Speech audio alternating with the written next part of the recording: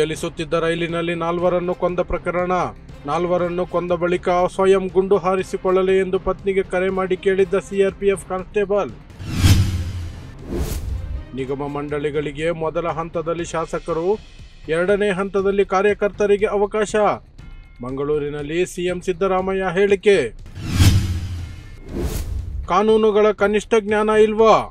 ಹುಲಿ ಉಗುರು ಪ್ರಕರಣಕ್ಕೆ ಟಿಪ್ಪುವನ್ನು ಎಳೆದು ತಂದ ಅರ್ಘ ಜ್ಞಾನೇಂದ್ರ ವಿರುದ್ಧ ಕಾಂಗ್ರೆಸ್ ತರಾಟೆ. ಅಮೆರಿಕದ ಮೈನೆ ರಾಜ್ಯದಲ್ಲಿ ಗುಂಡಿನ ದಾಳಿ ನಡೆಸಿ ಹದಿನೆಂಟು ಜನರನ್ನು ಹತ್ಯೆಗೈದ ಪ್ರಕರಣ. ಆರೋಪಿಯ ಮೃತದೇಹ ಪತ್ತೆ. ಭಾರತದಲ್ಲಿ ನಮ್ಮ ಅತ್ಯುತ್ತಮ ಶೂಟರ್ಗಳಿದ್ದಾರೆ. ಮುಖೇಶ್ ಅಂಬಾನಿಗೆ ಕೊಲೆ ಬೆದರಿಕೆ, ಇಪ್ಪತ್ತು ಕೋಟಿ ರೂಪಾಯಿಗೆ ಬೇಡಿಕೆ.